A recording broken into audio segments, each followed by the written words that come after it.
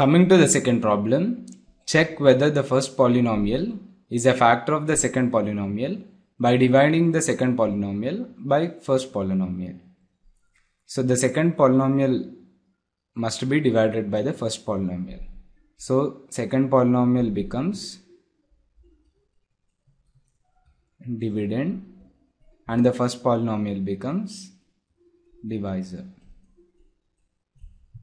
So if we get the remainder 0 on division of second polynomial by the first polynomial, we say that the first polynomial is a factor of the second polynomial.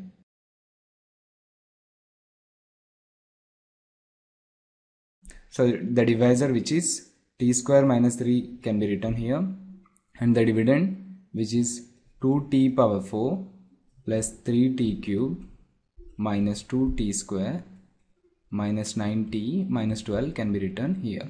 So the highest degree term of the dividend is 2t power 4 and the highest degree term of the divisor is t square. On dividing them we get 2t square. So which can be written at the place of the quotient 2t square. So the divisor t square minus 3 multiplied by 2t square is equal to 2t power 4 minus 6t square.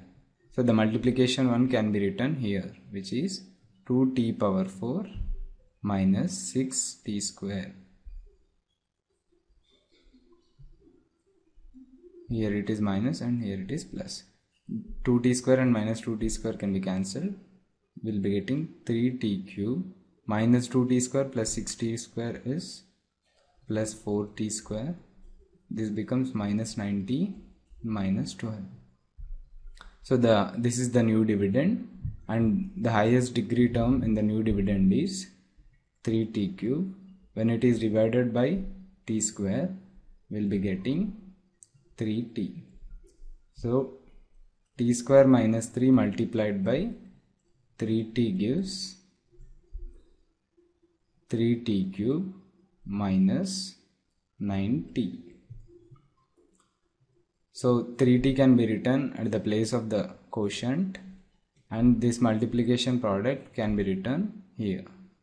3t cube minus 9t.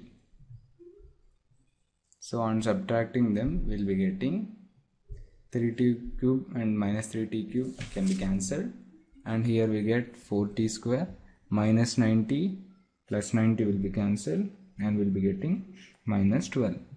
So now the new dividend is 4t square minus 12 and it has the highest degree term which is 4t square and the highest degree term of the divisor is t square. So on dividing them we get 4. So 4 can be written here. Now t square minus 3 which is the divisor multiplied by 4 which is 4t square minus 12. So this product can be written here. 4t square minus 12. On subtracting them we'll be getting 4t square and minus 4t square will be cancelled. Minus 12 and plus 12 will be cancelled. So that the remainder becomes 0 and therefore the remainder is 0 hence we can say that t square minus 3 is a factor of 2t power 4 plus 3t square minus 2t square minus 9t minus 12 because when t square minus 3 is divided by 2t power 4 plus 3t cube minus 2t square minus 9t minus 12 will be getting the remainder 0 that is why t square minus 3 is a factor of the given polynomial 2t power 4 plus 3t square minus 2t square minus 9t minus 12.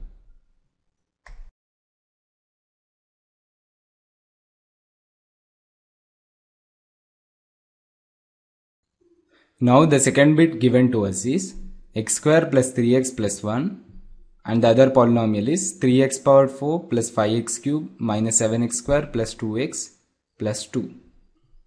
Since we need to divide the second polynomial by the first polynomial, first polynomial becomes divisor and the second polynomial becomes dividend.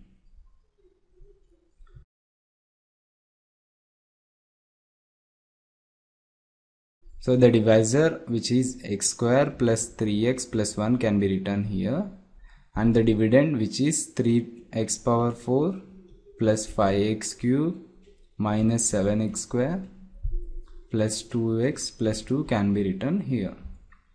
The highest degree term of the dividend is 3x power 4 and the highest degree term of the divisor is x square. So on dividing them we get 3x square. So 3x square multiplied by the divisor which is x square plus 3x plus 1 we get 3x power 4 plus 9x cube plus 3x square. So 3x square can be written at the place of the quotient and this product can be written here which is 3x power 4 plus 9x cube plus 3x square. On subtracting we get 3x power 4 and minus 3x power 4 will be cancelled. 5x cube minus 9x cube is minus 4x cube. And minus 7x square minus 3x square is minus 10x square. This becomes 2x plus 2 now the new dividend is minus 4x cube minus 10x square plus 2x plus 2 it has the highest degree term as minus 4x cube and the divisor has highest term as x square. On dividing them we get minus 4x so it can be written at the place of the quotient. Now minus 4x multiplied by the divisor which is x square plus 3x plus 1 gives minus 4x cube minus 12x square minus 4x. So this product can be written here minus 4x cube minus 12x square minus 4x. Now let us subtract this.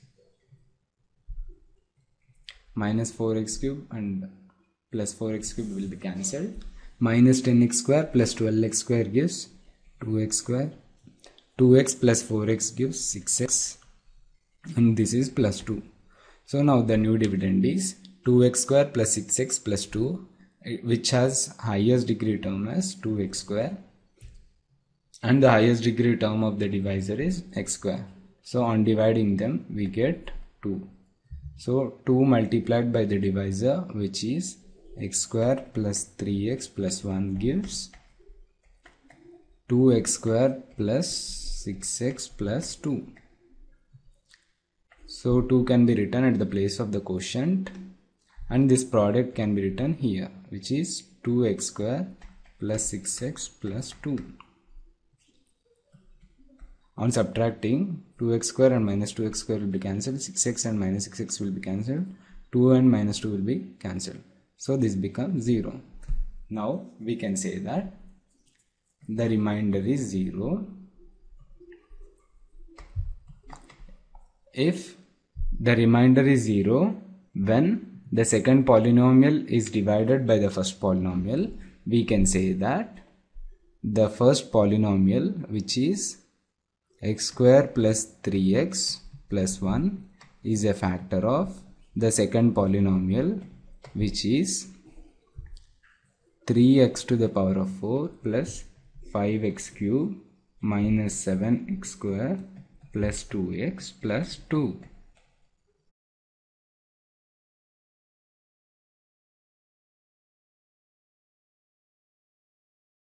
Coming to the third bit which is x cube minus 3x plus 1 and x power 5 minus 4x cube plus x square plus 3x plus 1. So we need to divide the second polynomial by the first polynomial. First polynomial becomes divisor and the second polynomial becomes dividend.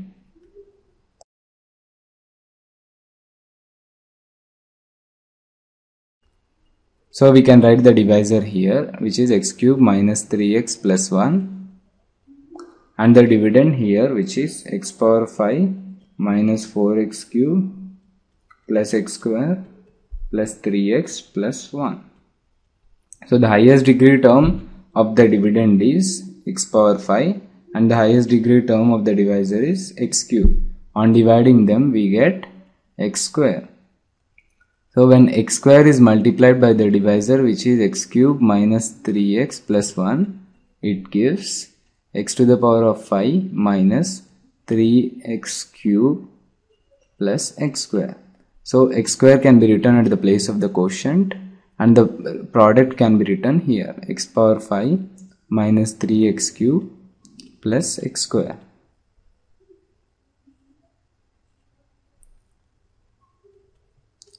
So x power 5 and minus x power 5 can be cancelled. Minus 4x cube plus 3x cube gives minus x cube and x square and minus x square will be cancelled.